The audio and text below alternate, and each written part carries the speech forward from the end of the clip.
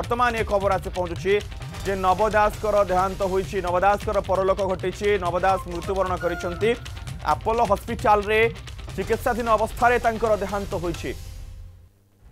গুরুতর ভাবে সে আহত হয়েছে ব্রজরাজনগরের এ গুড়িমাড় হয়েছিল তাঁর উপরে অনেক কার্যক্রম লা গোটে কার্যক্রম সারি আউ এক কার্যক্রম স্থলের পৌঁছবা ক্ষণি তাঁর উপরক গুড়িমাড় হয়েছিল পুলিশ এএসআই তাঁর উপরক গুড়িমাড় করে স্থানীয় ফাঁডির সে এএসআই লে এবং কেই কিছু বুঝবা পূর্বর সে গুলিমাড় করে এবং পছরে বর্তমানে কুহযাচ্ছে যে সে যে মানসিক রোগী লে এবং তাঁর চিকিৎসা জারি রয়েছিল সে তো তদন্ত পরে হি স্পষ্ট হব কিন্তু বর্তমান এ খবর যে নবদাসর দেহান্ত হয়েছে নবদাসর পরলোক ঘটিছে নবদাস মৃত্যুবরণ করেছেন গুড়িমাড়ে আহত স্বাস্থ্যমন্ত্রী নব পরলোক ঘটিছে তাঁর অস্ত্রোপচার করা এবং যা সূচনা হস্তগত হয়েছিল যে তাঁকু আইসিউরে ভর্তি করা যাইছে আইসিউরে गुरुतर अवस्था से चिकित्साधीन रही कि वर्तमान ए खबर जो नवदास परलोक घटी नवदास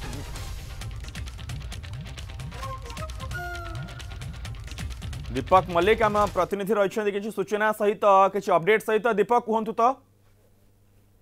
निश्चित भाव जहां बर्तमान अपडेट आज पहुंचुची চিকিৎসাধীন অবস্থায় নবদাসর মৃত্যু ঘটিছে এবং কিছু সময় পূর্বর সুর রাউতরায় প্রতিক্রিয়ার সে কথা কৌলে যে ভিতরে কান্দ বোবাড়ি পড়ছে এবং নবদাসর পত্নী উপস্থিত অনেক অন্যান্য বরিষ্ঠ নেতৃবৃন্দ উপস্থিত অনেক বিকে পাণ্ডিয়ান উপস্থিত অনেক এবং ডাক্তার শত চেষ্টা সত্ত্বে নবদাস বঞ্চাই পারি না ডাক্তারী দল বিভিন্ন জায়গার ডাক্তার মানুষ অণাযাই ক্যাপিটাল হসপিটাল ঠু নেই এসিবি মেডিকাল ডাক্তার মানুষ এখানে আনি চিকিৎসা করা কিন্তু নবদাস ছাতিরে যেহেতু গুলুটি বাজি এবং প্রবল রক্তস্রাব যোগ যেহেতু গুলুটি বাজি এবং প্রবল রক্তস্রাব যোগ তাঁর মৃত্যু ঘটিথিবা কথা প্রেস রিলিজ যোগে বর্তমান হসপিটাল কর্তৃপক্ষ সূচনা দিয়েছেন এ হচ্ছে বর্তমানর তাজা খবর এবং নব দাসঙ্কর বর্তমান দেহান্ত হয়েছে গুড়ি মাড় পরে চিকিৎসা করা তাঁর আপোলো হসপিটালে ভর্তি করা যাই গ্রিন করিডরে অণা যাই এয়ার আম্বুলান্সরে ঝারসুগুড়ু সিধাসলখ ভুবনেশ্বর অণা যাই কিন্তু ଶେଷରେ ସତ ଚେଷ୍ଟା ସତ୍ତ୍ୱେ ଡାକ୍ତରମାନଙ୍କର ତାଙ୍କୁ ବଞ୍ଚାଇ ପାରିନାହାନ୍ତି ଡାକ୍ତରମାନେ ମୁଁ ମଧ୍ୟ ଆପଣଙ୍କୁ କିଛି ସମୟ ପୂର୍ବରୁ ସୂଚନା ଦେଉଥିଲି ଏବଂ ଆପଣମାନେ ମଧ୍ୟ ଦୃଶ୍ୟ ଦେଖୁଥିବେ ଯେ ହସ୍ପିଟାଲ ସମ୍ମୁଖରେ କେଉଁଭଳି ଭାବେ ଲୋକାରଣ୍ୟ ହୋଇଛି ଏବଂ